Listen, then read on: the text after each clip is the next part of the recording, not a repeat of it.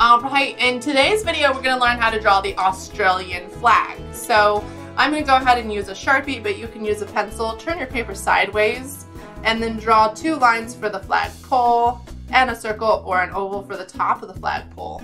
And then we're going to draw two simple lines for the top and the bottom of the flag and connect with a straight line on the right.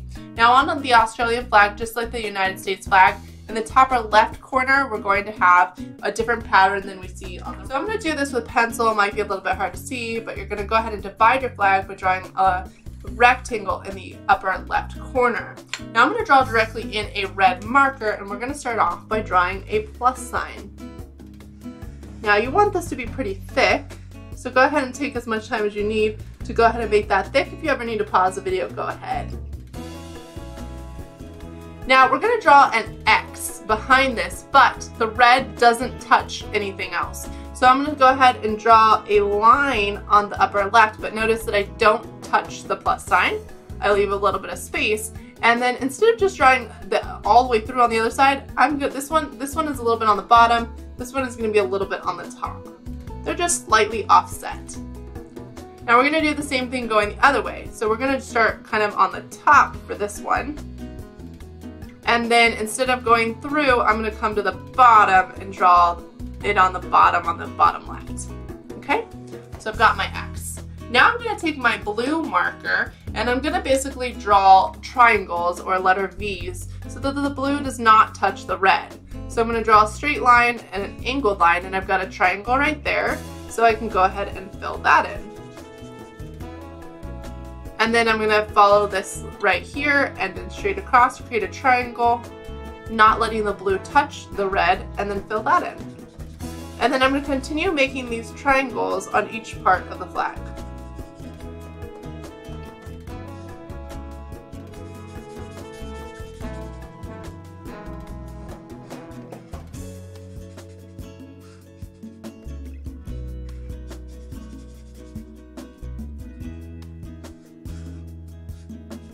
So take as much time as you need. Again, you can pause the video if you need to.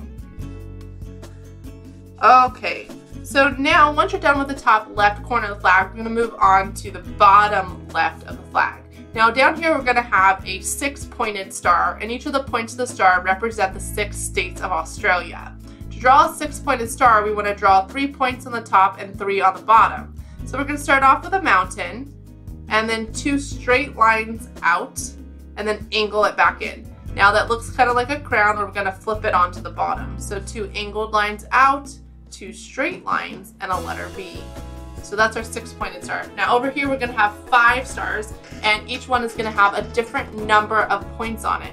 We're gonna start off with the smallest star, um, which is kind of uh, in the middle, and it's gonna be five points. So kind of like the normal star that you see. So draw small and start off with a uh, mountain, and two straight lines out just like we did on this other star and angle it in. So we've got our crown on top. Now the difference is going to be there's just going to be two points on the bottom. So one, two.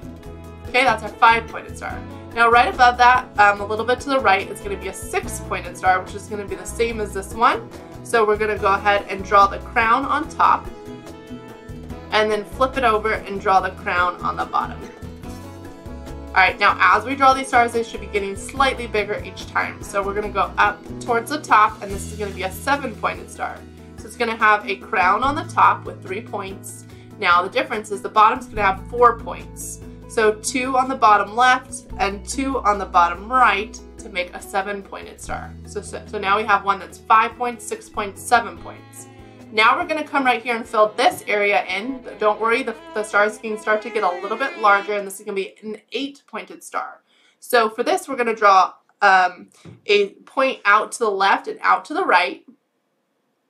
And then we're going to draw a crown on top with three points and a crown on bottom with three points. And that gives us eight points. Now the last star we're going to draw is going to fill this area down here. It can be pretty big and it's going to have nine points.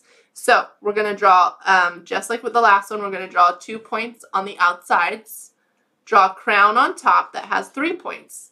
But on the bottom, we need four points. So we're going to draw two to the left and two to the right.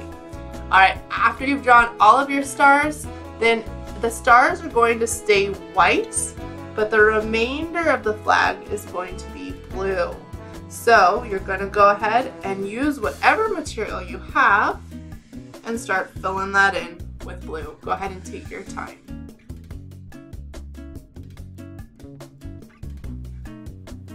All right, so once you're done with your flag, um, you can go ahead and add any details you want. Maybe you want to add a sky or a background behind it. Maybe add a little bit of shading on your flag pole.